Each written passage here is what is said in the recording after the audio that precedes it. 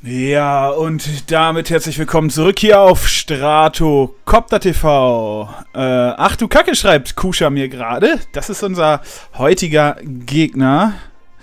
Ähm, ja, wir müssen heute ran gegen Hydronic. Das ist derzeit der äh, fünftplatzierte, glaube ich. Äh, ich check nochmal eben die Tabelle, bevor ich hier mit falschen Fakten. Ja, die Ultra Space Stingers vom guten Kusha, die sind aktuell auf Platz 5. Wir sind aktuell auf Platz 2, trotz der äh, Blamage von letzter Woche, könnte man sagen. Ähm, ja.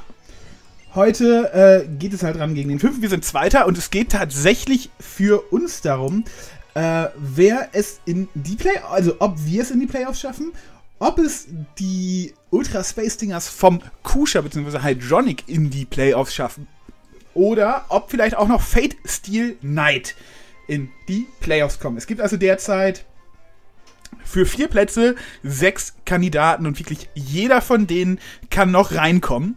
Ähm, wir wollen natürlich drin bleiben. das wäre äh, irgendwie der Play. Ähm, ja, ich habe am Anfang der Season für mich gedacht, ich will nicht in die Playoffs. Jetzt können wir es allerdings in die Playoffs schaffen. Ähm, und wir haben es hier heute mit, also wir haben es nicht leicht, sagen wir es mal so. Ähm, das Team ist stark, gegen das wir heute spielen. Und es gibt so ein paar Begleiterscheinungen für diesen Kampf, die ihn für mich sehr, sehr unsexy machen, sag ich mal. Ähm, ja, Kusha hatte diese Woche leider nur einen Tag Zeit. Also, beziehungsweise wir hatten uns für Mittwoch verabredet, das auch schon etwas länger. Ähm, ich habe jetzt spontan einen späten Dreh reingekriegt. Komme jetzt also von einem 14-Stunden-Arbeitstag. Ähm, habe noch kein Armbrot gegessen bin dementsprechend mega hungrig, mega müde, äh, sitze jetzt aber anstatt in meinem Bett zu liegen vor einem Mikrofon, habe schlechte Laune und habe gerade ein bisschen Angst, dass ich das an euch rauslasse, äh, was ihr natürlich keineswegs verdient habt, aber äh, meine Anfrage, ob der ganze Kampf nicht vielleicht auf den Montag geschoben werden könnte, ist äh, einstimmig von den Schiedsrichtern abgelehnt worden, weswegen wir jetzt hier sind. Und ich gerade ganz hart das Gefühl bekomme, äh, die Playoffs zu verspielen, weil ich müde irgendeinen dummen Fehler machen werde. Ähm, ja. Damit man mich weiterhin als netten, freundlichen Kerl der Pokémon-Community kennt, werde ich jetzt nichts weiter zu diesem Thema sagen. Das ist für uns durch. Ähm, Teambuilding weiß ich noch nicht, ob eins kommt oder kam. Äh, wenn, dann kommt auf jeden Fall eins, das nach dem... Äh, das nach dem Teambuilding entstanden ist, äh, nach dem Teambuilding, nach dem Kampf entstanden ist. Mm. So, was hat er denn dabei? Gengar, Landorus in der Inkarnationsform. Er nimmt echt Ninetales gegen mich mit? Damit hätte ich jetzt tatsächlich nicht gerechnet. Das Ding müssen wir hart rausgern, denn ich habe die Stahlattacke nicht auf... Äh auf die Dialga, wenn ich mich recht entsinne. Puh, ja. Tatsächlich nicht.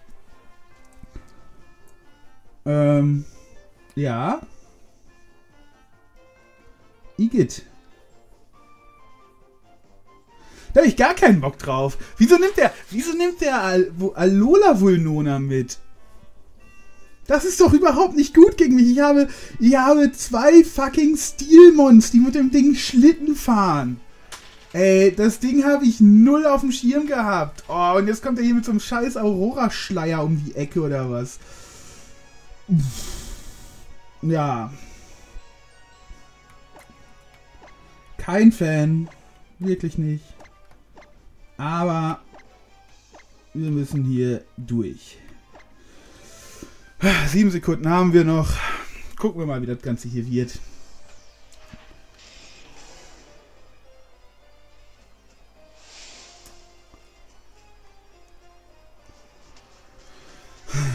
Womit liedet er? Eigentlich darf er ruhig mit allem lieben gegen Dialga. Vieles können wir da auch noch rausgern. Roter Pesto. Mit dem Lied habe ich tatsächlich gerechnet. weil ich fest davon ausgehe, dass das hier sein Wahlschallnutzer ist.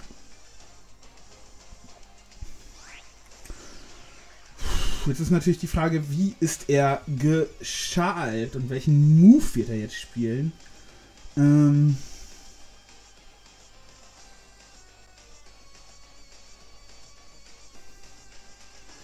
Also ich gehe hier ganz stark von der U-Turn aus. Wir könnten hier also jetzt safe die Tarnsteine legen. Er könnte aber natürlich auch sowas wie ein, wie ein Fokus, äh, Fokus-Miss spielen. Der würde dann natürlich dementsprechend viel Schaden machen können. Ähm, erstmal gucken, haben wir hier überhaupt ein Bild? Ja, haben wir. Wunderbar. Sonst wäre das ganze Commentary ab dieser Stelle halt für den Arsch gewesen. Eviltal, Choice Scarf, Level 50. Alter, der Dark Pulse macht halt genug. Hm. ja, wir gehen hier jetzt aber einmal für den Dönerblitz. Und wir sind tatsächlich schneller, das freut mich ja schon mal. Und das macht mehr als 50%. Und da kommt der Ruhehort, ja. Hat halt mit dem Draco gerechnet. hm. Womit möchte er denn die Elektroattacke abfangen? Und die Überreste, wir sehen die Überreste. Das heißt, eine Angst schon mal weniger. Äh, er weiß jetzt natürlich, dass wir gescarft sind. Was ist seine Antwort in einen Donnerblitz? Das ist Lando. Womit erwischen wir Lando am besten? Lando erwischen wir mit Arzeus ziemlich stark. Allerdings könnte er halt für die Giftattacke gehen. Ähm, wenn Lando gescarft ist, äh, nicht gescarft ist, erwischen wir das halt mit unserem mit unserem Dingens sehr gut. Mit unserem Marcello. Jedes Mal, wenn ich hier sitze, fallen mir die verdammten Namen für die Mons nicht ein, ne? Es ist doch zum Mäusemelken. Jo, ich gehe jetzt tatsächlich in. Ich gehe hier aber tatsächlich in Zapdos. Ich rechne hier mit dem Hard Switch. Er will nicht Don den Donnerblitz haben, bevor. Oh, er geht tatsächlich auf die Kehrtwende. Schön. Das bedeutet nämlich tatsächlich Schaden. Und wir haben immerhin die 30% Chance, dass irgendwann tatsächlich mal die Statik triggert, aber die tut es natürlich nicht.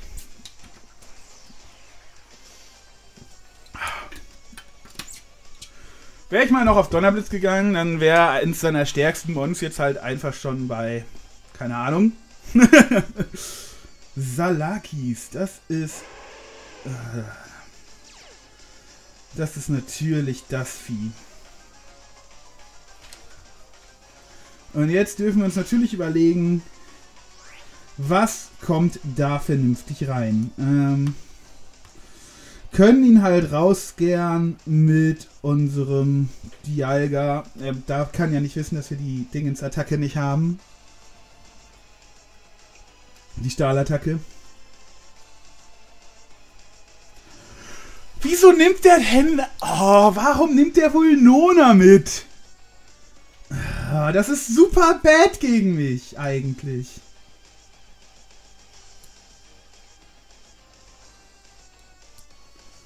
Ja, wir gehen hier jetzt einfach einmal in...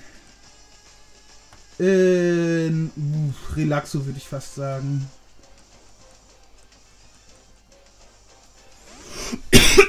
Weil Volnona ist schneller als wir, hätte hier Eisstrahl drücken können. Der würde natürlich vernichtenden Schaden gegen uns machen. Hypnose! Ernsthaft? Wer verlässt sich denn auf Hypnose? Das ist ja... Uff. Wie man so schön sagt. Ja, wir gucken mal, wie lang, lange wir schlafen.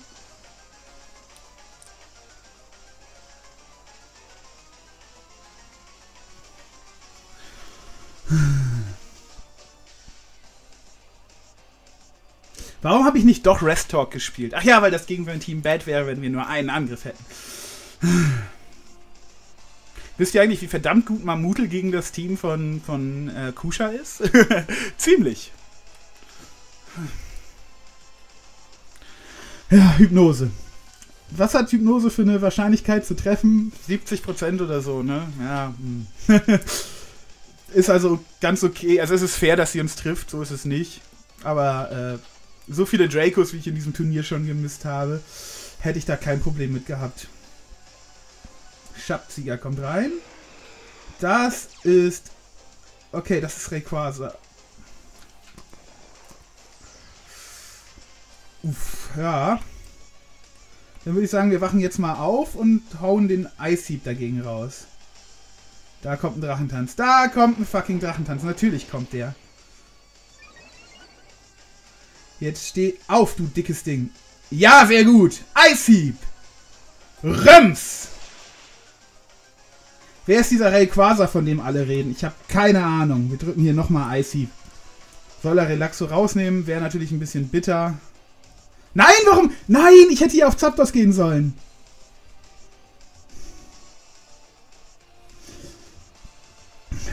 Ja. Gut, dass du aufgewacht bist, Relaxo. Tut mir leid, dass ich dich gerade so verschwendet habe.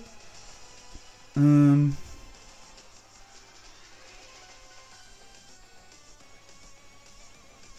Sehr gutes Relaxo, sehr gutes Relaxo.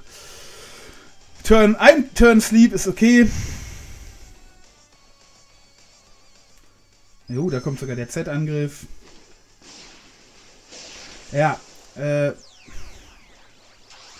Ich hatte kurz gehofft, dass Relaxo das Ganze überleben kann, aber äh, bei der Z-Attacke auf jeden Fall nicht. Vor allem, weil das halt der Z, äh, hier, wie heißt der, Zenitstürmer sein wird.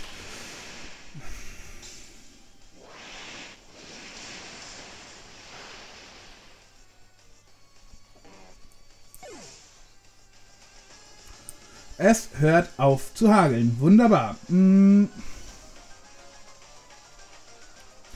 Ja, wir gehen hier jetzt einmal in Marshadow und können hier jetzt halt mit dem Schattenstoß das gegnerische äh, Rayquaza rausnehmen. Wir sollten hier kein Risiko eingehen, das Ding ist auf plus 1.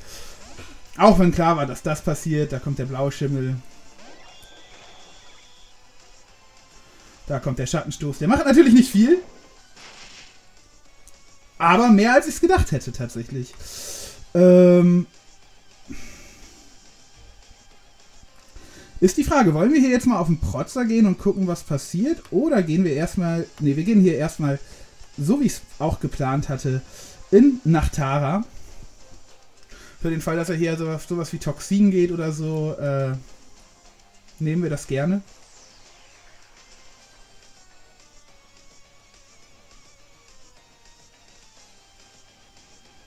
Weil, wenn er nach Tara toxinisiert, sollte ja die Synchro, die wir haben, sein Arzeus äh, toxinisieren.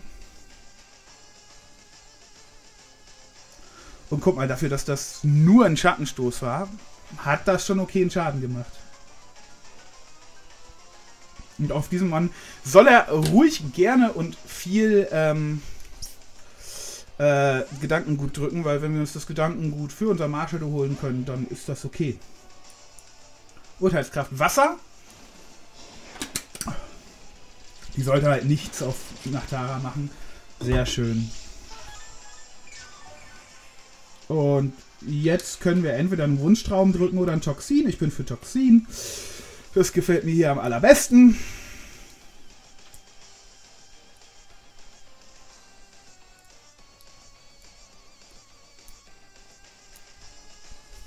Ich weiß gerade gar nicht mehr, was für ein äh, Investment nach Tarat. da kommt ein Toxin, das ist sehr schade. Dann wäre ich lieber auf Wunschtraum gegangen. Aber halt gut zu wissen. gut, unser Toxin hat hier jetzt natürlich nichts gebracht. Ähm, sehr schade. Sehr, sehr schade. Aber Schaden auf Blauschimmel nehme ich. Und Wohin gehen wir denn jetzt? Ich würde sagen, wir gehen hier jetzt einmal auf Dialga. Nur für den Fall, dass er irgendwas komisches probiert.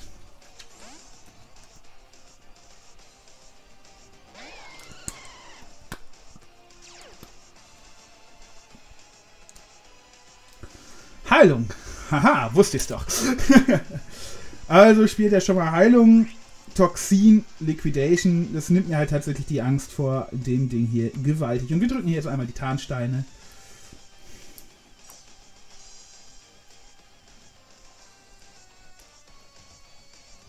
Da kommt die Genesung. Dieser Blauschimmel wird echt nervig, das sage ich euch.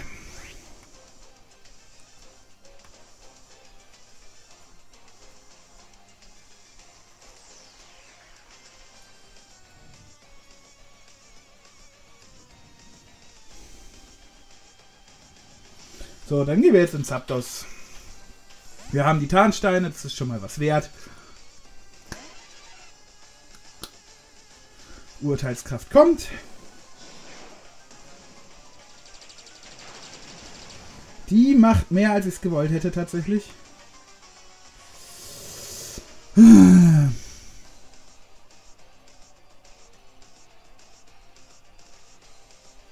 hier einmal auf den Ladungsstoß. Gucken wir mal, was der macht. Der macht guten Schaden.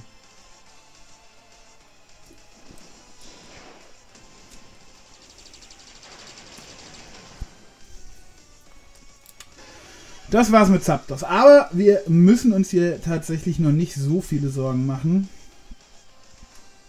Wir können jetzt, haben nämlich noch die Mons, die wir eh zum Gewinnen brauchen, noch alle in der Hinterhand.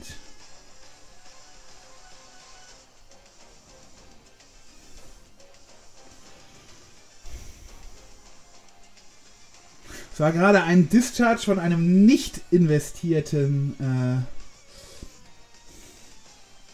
von einem nicht investiertem äh, Zapdos. Jetzt ist halt die Frage, äh, kann ich hier einfach auf den Draco Meteor gehen? Oder holt er da tatsächlich wohlwissend irgendwas rein?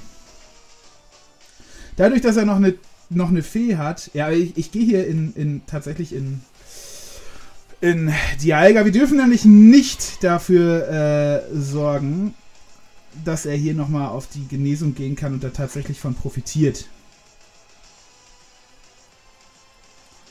Und deswegen gehen wir hier jetzt straight auf den Draco, denn ich kann mir einfach vorstellen, dass er hier jetzt. Ach, andererseits ist der Switch in, in Lando so offensichtlich. Aber er muss halt auch mit dem Eisstrahl rechnen. Er hat jetzt gesehen, Donnerblitz und Tarnsteine. Ähm, Erdkräfte und Draco haben wir noch. Ähm, ja. Ist jetzt halt die Frage.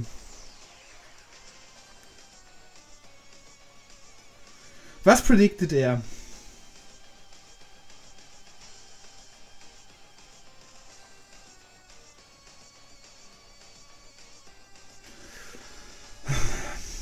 Also ich will ja den Donnerblitz predikten, weil er den schon gesehen hat. Das heißt, ich würde hier für den Draco gehen und wenn er jetzt auf wenn er jetzt auf Dingens geht, hat er alles richtig gemacht. Auf ja, wir gehen auf Draco. Er bleibt tatsächlich drin. Komm schon! Das macht viel zu wenig. Das macht viel zu wenig. Okay. Wären wir mal für den Donnerblitz gegangen. Oh, ich hasse Arceus. Es ist so ein fucking Kackmon. Und wir haben letzte Woche schon gesehen, was wir für ein fucking Problem mit Bulky Waters haben, ne? Wenn ich hier straight für den Donnerblitz gegangen wäre, hätte er sich wahrscheinlich wenigstens nicht gegenheilen können. Deswegen drücke ich hier jetzt einmal Toxin, damit er gezwungen wird, auf Heilung zu gehen. Dann drücken wir...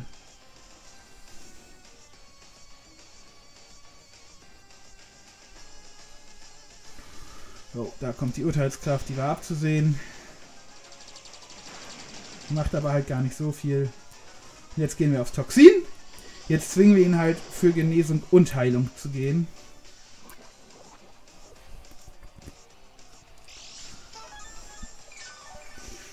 Oh, das läuft gar nicht gut für uns. Das läuft gar nicht gut für uns.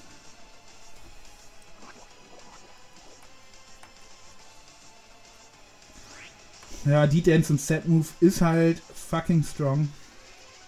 Was soll man sonst sagen?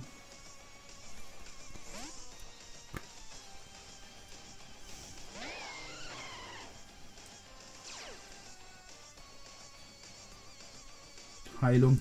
So kriegen wir zumindest unser Dialga gratis rein und können hier jetzt mal ein bisschen mit Donnerblitz rumspammen.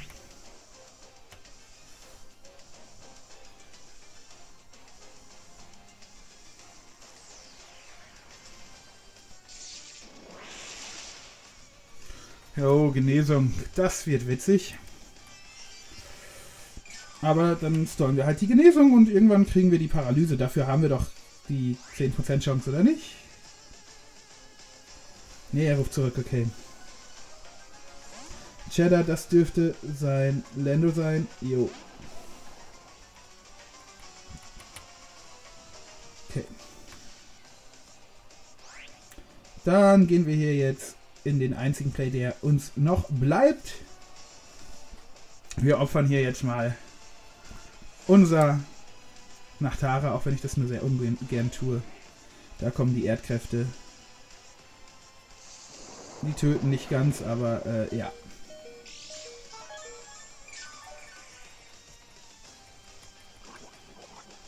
Das werden die jetzt tatsächlich tun. Äh, wir könnten hier jetzt alles Mögliche drücken, aber eine weitere Erdkräfte nimmt uns natürlich raus.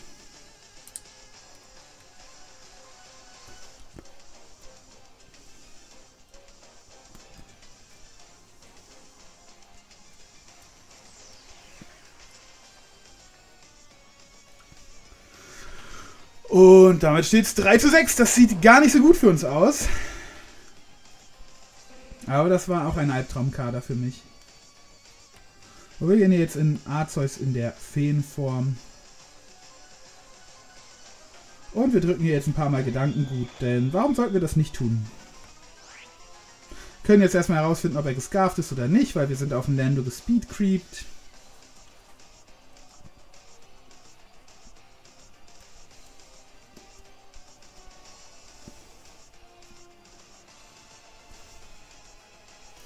Wenn er weiß, was gut für ihn ist, geht er straight in Gengar. Nope. Er geht straight in den Blauschimmel. Das bekommt ein bisschen Schaden. Wir kriegen ein bisschen Gedankengut raus.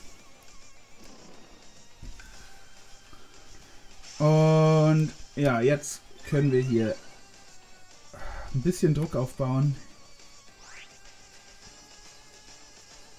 Wisst ihr, ich wollte tatsächlich Sub über Genesung spielen. Wollen wir jetzt mal für den 10% Miss von Toxin gehen? ich mache das ungerne, aber äh, so oft wie bei mir tatsächlich schon Dingens gemisst hat, äh, Draco. Ja, komm, wir gehen noch einmal für Gedankengut. Und dann bringen wir das Arceus hier zumindest auf eine Range, in der das nicht mehr so viel macht. Trifft. Okay.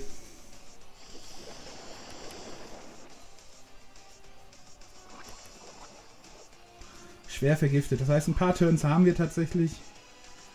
Und wir sind jetzt halt in einer Range, in der Gengar uns nicht two-shottet. So, wir sind hier plus zwei Arztes. Wir haben zumindest ein bisschen Special, Special Investment. Ja, sehr schön.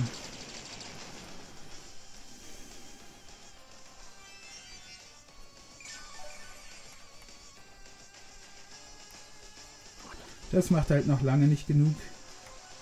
Wir gehen nochmal... Nein, nein, ich wollte nicht für Genesung gehen. Scheiße. Ich habe mich verklickt. Ich habe mich fucking nochmal verklickt. Das ist doch jetzt nicht wahr. Wo ist mein Showdown-Cancel-Button?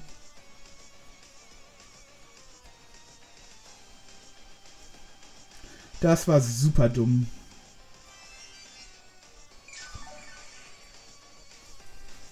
Ja, cool. Damit habe ich gerade Arzeus verschwendet. Wenn wir eine Chance gehabt hätten, dann vor diesem Tick tatsächlich. Ich wollte auf Gedankengut klicken, verdammt.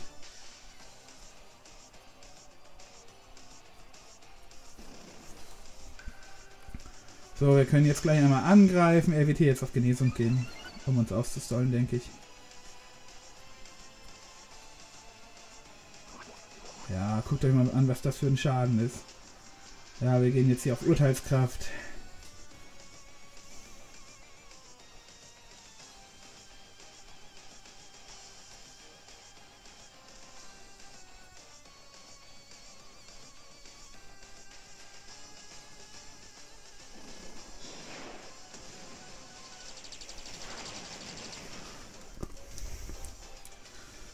Nächste Genesung sollte zumindest ausreichen, um Arzeus rauszunehmen, aber äh, er wird hier jetzt halt wechseln. In irgendetwas, das eine Urteilskraft tankt oder halt abgeworfen werden kann.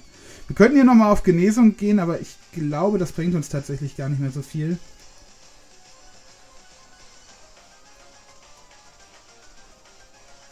Ja, wir gehen hier nochmal auf die Urteilskraft. Auch wenn er jetzt einfach Rayquaza abwerfen wird oder so.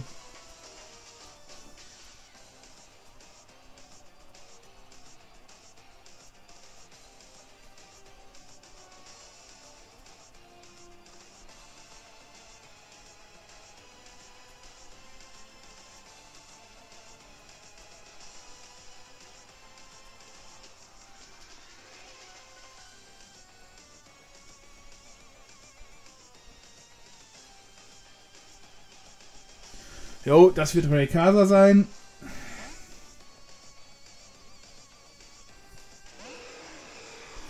Boah, warum bin ich denn nicht auf Genesung gegangen? Ich habe das doch sogar gecallt. Ja.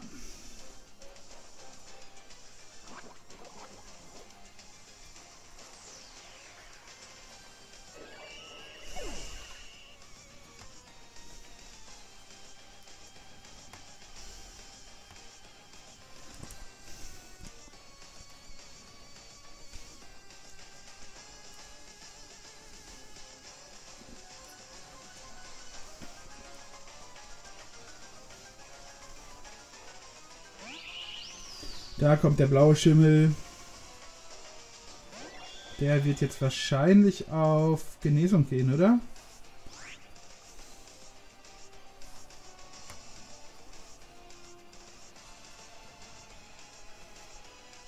Weil wenn nicht, ist er in einer Range, wo zwei...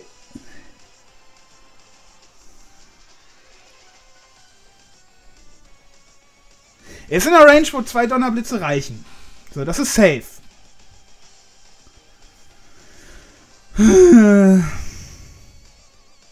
Ja. Zwei Donnerblitze reichen. Das heißt, er muss doch hier mit dem Switch-In rechnen, oder? Das Problem ist, wir haben gerade schon unser Gedankengut-Setup völlig vertan. Wir könnten jetzt einmal auf, auf den Divis-Schatten gehen, tatsächlich. Einfach um zu gucken, was passiert. Wir könnten auf den Protzer gehen, weil ich. Aber wenn er sich erholt, bringt der Diebesschatten nichts. Und dann bringt der Donnerblitz nichts. Wir, wir müssen ihn also auf einen Double auf Lando erwischen. Oder jemand anderen halt. Sei denn, er rechnet hier jetzt mit der Z-Attacke.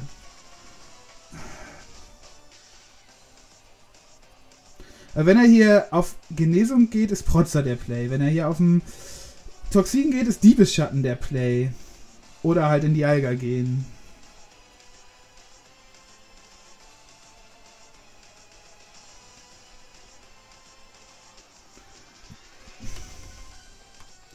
Okay, komm, die Alga. Tausch! Ich hoffe, er hat das noch gemacht. Ich, er hat, er hat, er hat. Er.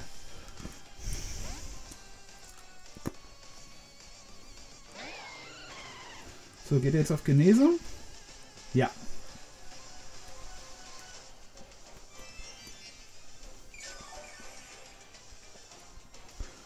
So, jetzt könnten wir wieder auf den Donnerblitz gehen. Oder auf den Draco. Also er hat halt nichts zu verlieren, wenn er jetzt einmal drin bleibt und Genesung drückt. Deswegen gehen wir jetzt auf Donnerblitz und wechseln dann in Marshadow raus. Wobei, nein, oh, er kann halt so easy in Lando gehen und den Donner zu erwartenden Donnerblitz erfahren. Komm schon, Para, Para, Para, Para. Ich call nie Hex.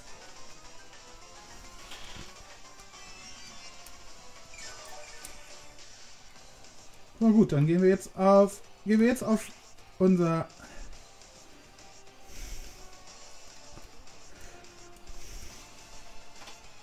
Wir gehen jetzt auf Marshadow und wenn er den Play mit dem Toxin predicted, dann ist er Gott und hat uns hier verdient 5 zu 0 besiegt.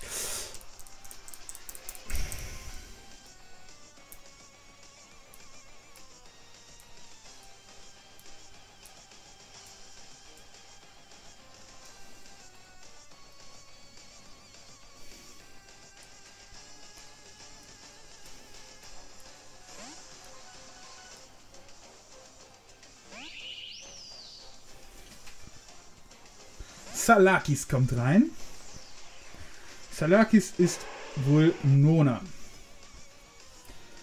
Vulnona hat Hagelalarm und gar keine Angst vor Marshadow.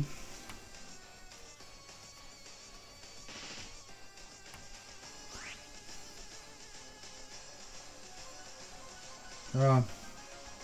Habe ich hier eine andere Alternative, als auf Diebesschatten zu gehen? Ich glaube kaum.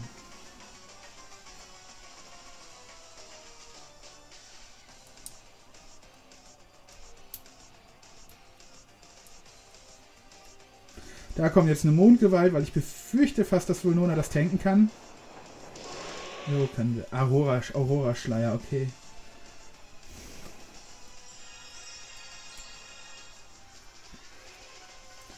Schade, dass es das noch getankt hat.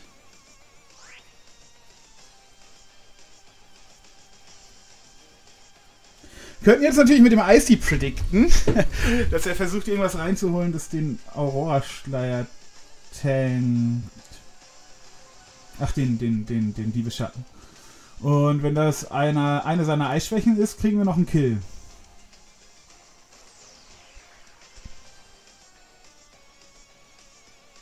Eventuell.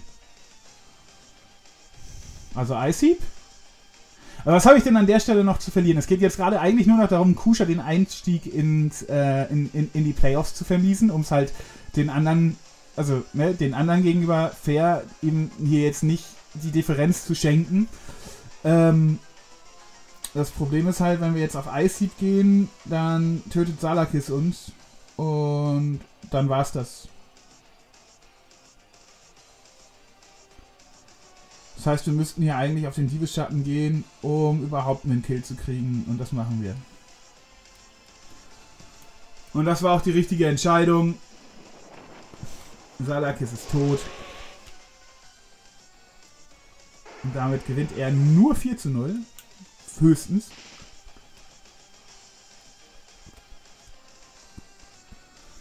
Ja, da kommt der blaue Schimmel, der jetzt natürlich machen kann, was er will. Na, wir gehen hier einfach, um Züge zu stallen. Nochmal raus in die Jalga.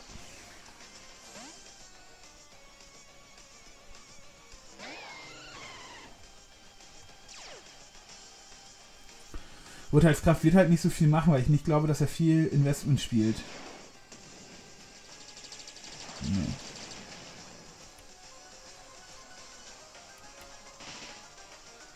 Und auch da gibt es Residual Damage, so, also. Gehen wir hier nochmal auf den Donnerblitz.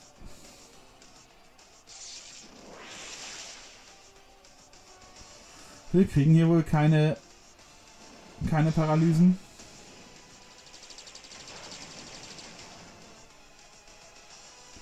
Der Aurora-Schleier wirkt noch. Er kann jetzt auf die Genesung gehen.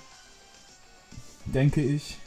Aber wir gehen nochmal auf... Ma ja, ich weiß nicht, wenn wir hier jetzt in Marshadow gehen...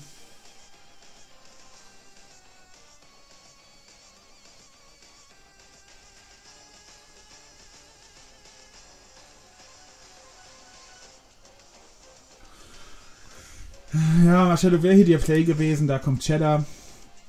Cheddar kriegt jetzt nochmal Tarnsteinschaden und wird uns halt gleich rausnehmen. Aber das ist okay. Das ist okay. Ist ja nicht so, als hätte er sich das nicht verdient. Ich kann leider nur Donnerblitz einsetzen. So gern ich hier jetzt natürlich auch äh, was anderes gemacht hätte. Aber wir lassen uns hier jetzt mal von den Erdkräften treffen.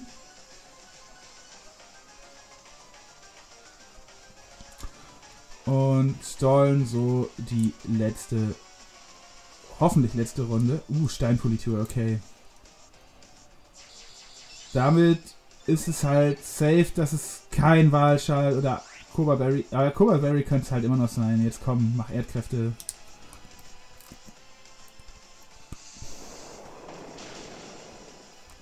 So, damit ist Heavy Metal raus. Und ich sehe, der Dingens läuft immer noch, der äh, Aurora Schleier. Das heißt, wahrscheinlich reicht der Enten.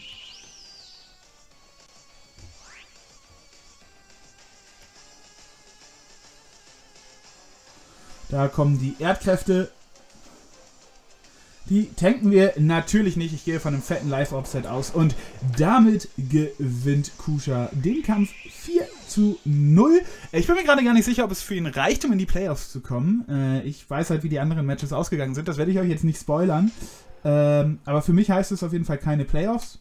Äh, es ist schade in der Hinsicht, dass ich ähm, natürlich gerne erfolgsorientiert gespielt hätte und unter die Top 4 gekommen wäre. Ähm, es ist insofern aber gar nicht schade, dass ich gerade im echten Leben mehr als genug anderen Scheiß habe, um den ich mich kümmern muss. Und es nicht bereue, die nächsten zwei Spiele nicht machen zu müssen. Oder das nächste Spiel zumindest. Ähm, ja, Schade, wie das Ganze gelaufen ist. Die letzten zwei Spieltage waren wieder ein bisschen kacke, aber äh, es zeigt sich mal wieder, dass ich, wenn ich im Real Life zu viel Stress und zu viel zu tun habe, in Pokémon richtig reinscheiße. Ähm, ja. So ist das Leben. Ist jetzt ziemlich genau Mitternacht. Für mich ist es längst Zeit, im Bett zu liegen. Und deswegen will ich hier auch gar nicht weiter großartig mich beschweren, rumheulen und so weiter und so fort. Kusha hat sehr gut gespielt, hatte mit seinem Arzeus das richtige Set gegen mich dabei. Äh, Bulky Waters haben meinen kompletten Kader halt außer Gefecht gesetzt, das muss man leider so sagen. Ähm, Relaxo ist zu früh draufgegangen, das hätte mir nicht passieren dürfen. Wäre mir wahrscheinlich auch nicht passiert, wenn ich nicht fast einschlafen würde gerade. Aber ich habe gerade gesagt, ich höre auf, mich zu beschweren und mache es weiter. Ähm, ja, das war die LPP für mich, Season 1. Äh, bei Season 2 bin ich gerne wieder dabei, wenn es denn eine geben sollte. Dann aber erst tatsächlich auf der Switch und für Gen 8. Ähm, ja, dementsprechend war's das mit dieser Season von mir. Wir werden uns aber wahrscheinlich dann im April schon zum nächsten größeren Projekt sehen.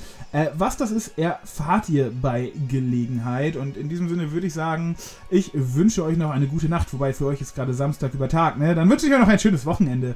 Und wenn ihr dann das nächste Projekt oder sonst irgendetwas von mir sehen wollt, dann wisst ihr natürlich, wo ihr mich findet. Nämlich auf derselben Stelle, auf derselben Welle reingehauen.